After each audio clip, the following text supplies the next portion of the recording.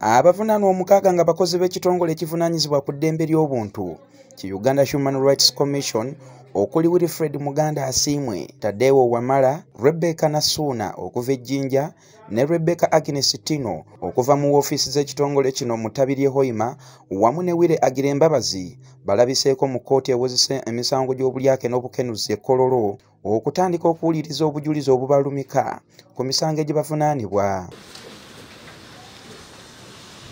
omulamuzi lawrence gidudu ng'eyali mu mitambo gy'omusango guno era asoose kukakasa misango egivunaanibwa abantu bano okuli ogw'obulyake n'obukenuzi okwekobaana ne babba ensimbi ezisoba mu bukadde ekikumi n'okukozesa obubi ofiisi zaabwe. Omulamuzi era alaalisa oludda oluwaabya okuleeta obujulizi obulumika bano ku misango egibavunaanibwa. And uh, they led one witness. However in the course of uh, oludda oluwaabi olunaku olwaleero luleese omujulizi asoose medi mulumba wabula wakati mu kuwuliriza obujulizi bwe oludda oluvunaanwa nga lukulembeddwamu munnamateeka kalebu mwesigwa luwakanyiza ebimu ku biwandiiko ebireeteddwa mu kkooti.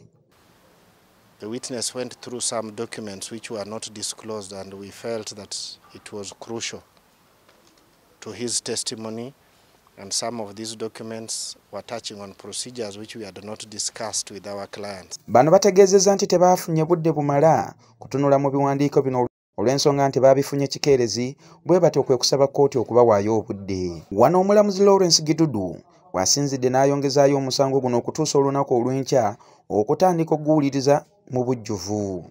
Munnamateeka w'abavunaanwa Evans Ocheng aliko kyannyonnyola ku nsonga y'enjuyi zombi okuwanyisaganya obujulizi n'ebizibiti mu budde But uh, we don't want to blame because the initial prosecutor who was handling the case, these ones are new also on the file.